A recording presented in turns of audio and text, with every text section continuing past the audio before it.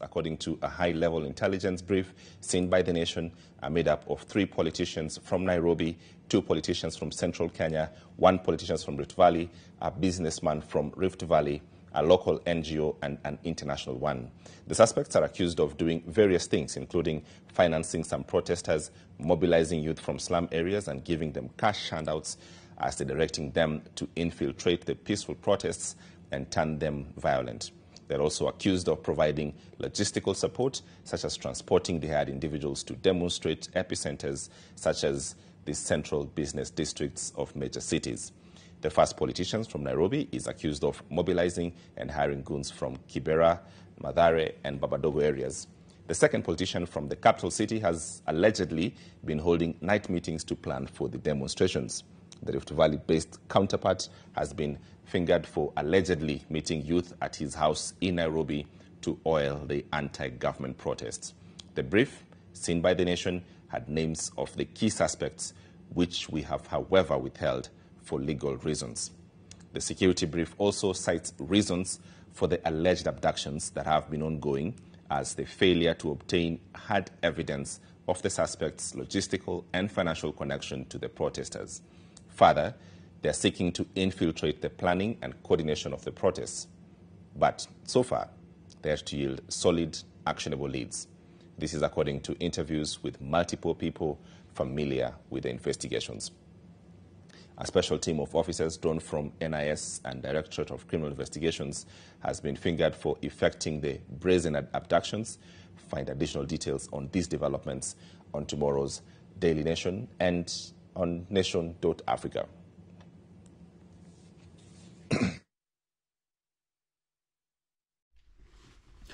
hello guys uh, with the ongoing uh, protests and uh, i have seen that the government is not ready to listen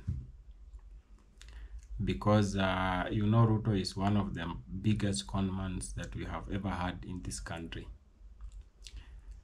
yeah because uh, he tells us that he needs to meet the leaders of the Gen. The Gen are telling him that we don't have a leader. The leader is you because he is the president of Kenya and the Gen are Kenyan citizens. And so I think uh, the president has a big ego that cannot allow him to back down to anything. So him and his people, I think the Chungwas and the Sudis and those kind, you can name them the Sakajas of this of our days. They have hired goons to try and infiltrate the uh, protests. Okay, and so what we are witnessing here is that um, the protests started, and they will not stop. These kids are jobless, and most of the people's jobs were closed because of overtaxation. You understand? and so we have a, an idle population you see what Ruto failed with his goons is that uh, with his M- M- MPs uh, is that he focused on taking more money from the citizens he did not focus on helping putting better policies like low taxation so that business could thrive and then we could collect more revenue. You see, he focused on taking everything that these guys have toiled for. And now these people, they have closed their shops, they have closed their businesses.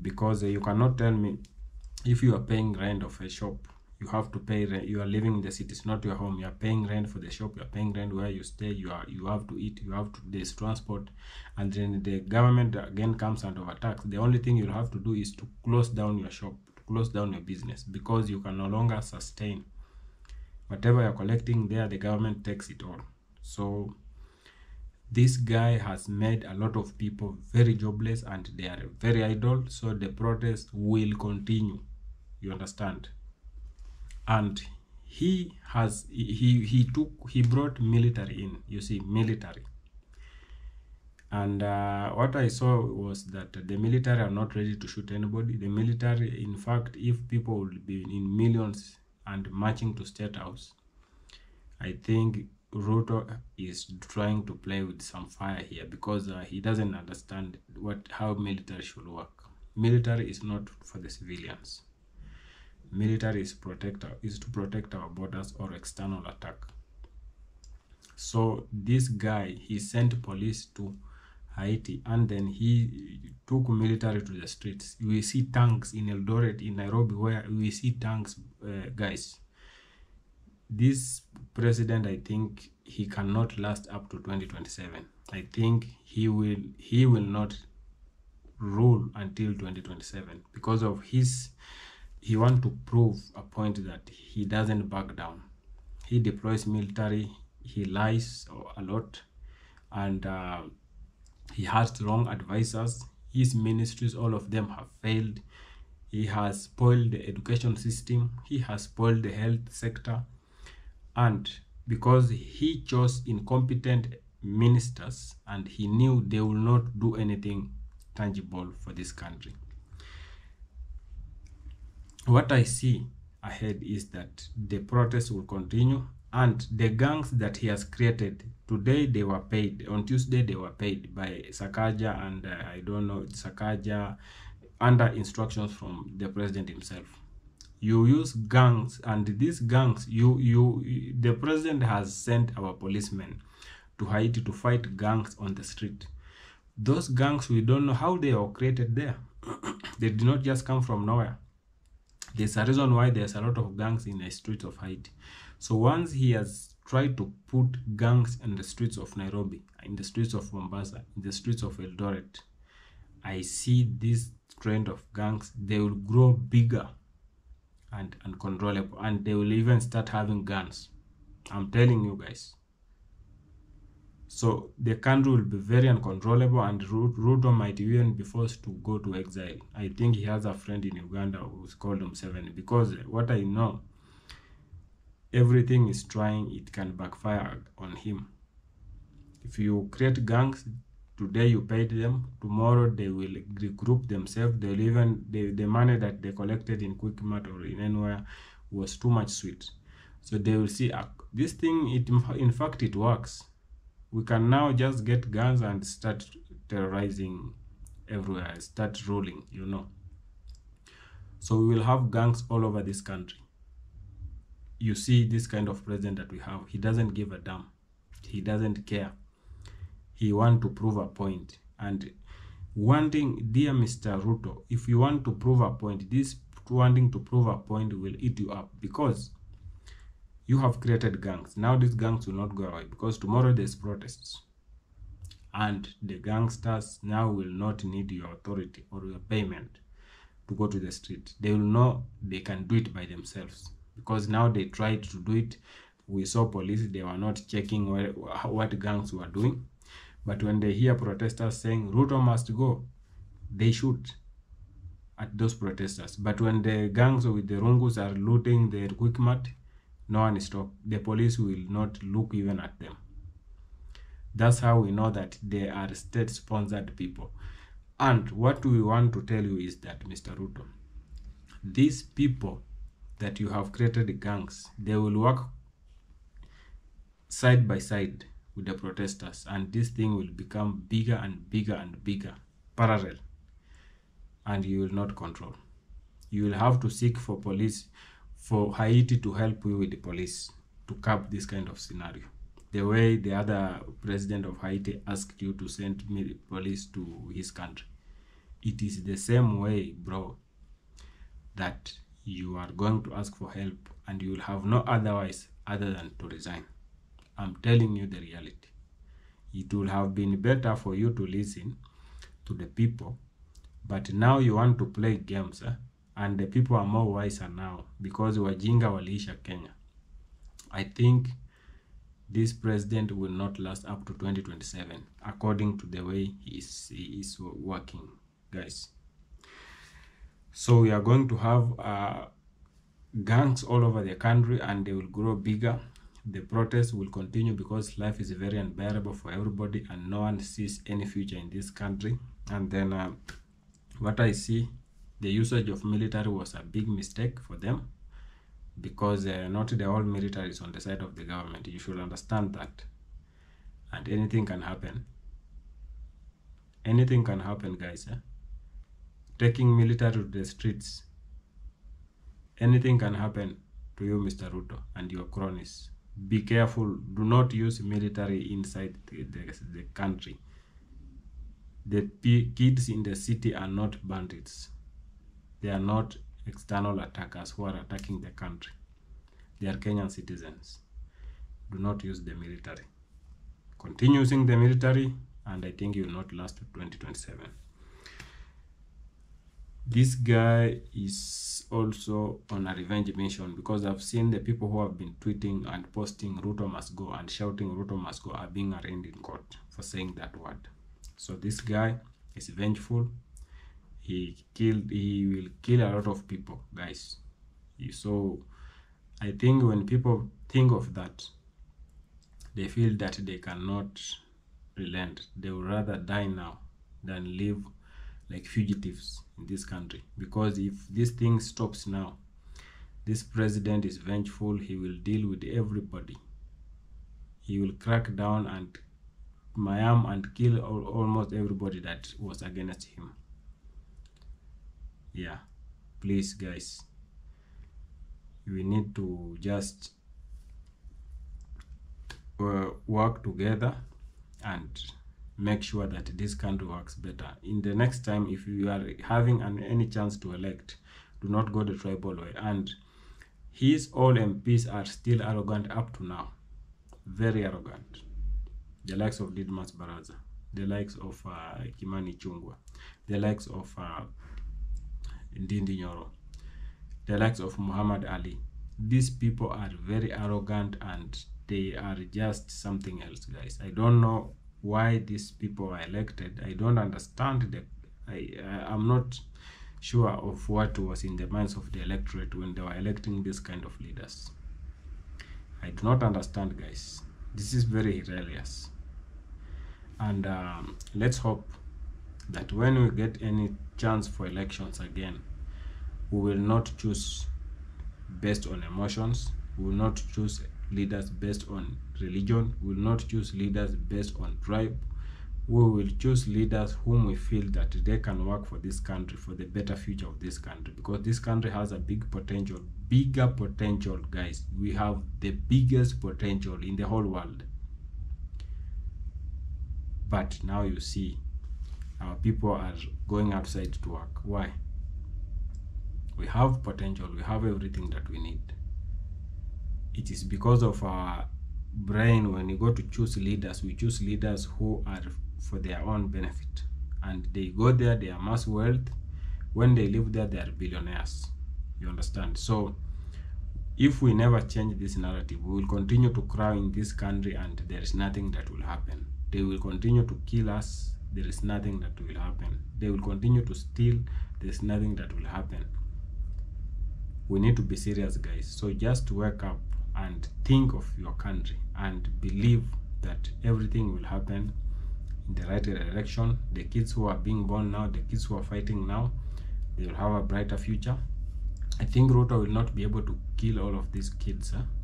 because uh, as protests continue, he says he doesn't have money. So as they continue uh, the police will run out of bullets. The police will also run out of the the this what is this? Uh, the tear gas. They will run out of everything. And when they run out of everything it's either they go to the military and take the bombs and the jets to start fighting the citizens. I think that's how he he will have to do because those are the ones that will have been remaining because now he's saying he doesn't have money to run the country.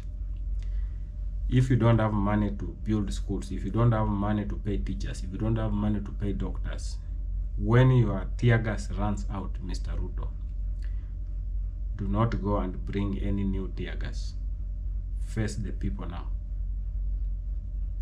That money for tear gas would have been used to build schools, to do something tangible for the country but I know you will make sure that you go and get them so that you can continue killing our people, uh, which is not is unacceptable. So I believe uh, this president may not last up to 2027 because he doesn't want to listen. He's still playing politics, tactics, like hiring goons. Now the goons that he created on Tuesday will continue, guys, in all cities. You are major cities: Eldoret, Nakuru, Kisumu, Mombasa, and Nairobi. If you are in those cities, guys, try to see how you can relocate because I'm telling you the reality. The trend that Ruto and company started on Tuesday by hiring goons in the city, in the two cities, Mombasa and Nairobi, is going to spread like wildfire across the whole country. And we are no longer safe. He thought that he's trying to infiltrate the Gen Z movement. But now he has created another thing that has germinated. It's called goons. This one now they will not need their authority. They will now be doing their thing the way they want. Because there is no job. You know, you cannot create something and you know these citizens are idle. These goons, there will be more, guys. And the protest will continue because life is unbearable. So we believe that this president who is not listening, he must go. Ruto must go. In case you have not subscribed to this channel, kindly subscribe. I'm not a, uh, uh, I have always been a, a, against wrong leadership. I have been always advocating for better leadership. So I'm not. It's not that I'm against Ruto. I'm against his wrong policies, his wrong choice of ministers, his wrong eh, way of leading this country into the downfall. Because now in East Africa, I think Kenya is number last. So we need to wake up and see. Please, guys, put tribalism aside, put religion aside, put nepotism aside. Let us fight this war. Let us fight corruption.